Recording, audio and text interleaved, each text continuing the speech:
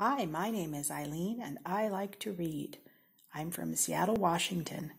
Today I'm going to read from My First Phonics by the linguist Diane McGuinness. She helps us hear the sounds of English and know their spellings.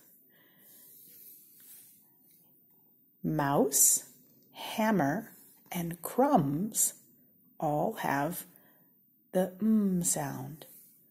Mask, mushrooms, map, hummingbird, gem, mop, jump, comb, tomato, lemons, lamb, mommy, camera, jam, and man.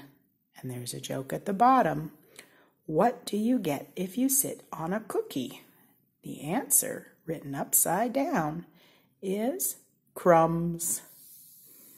And you see up here, crumbs has M and B. Those letters together can be one of the spellings.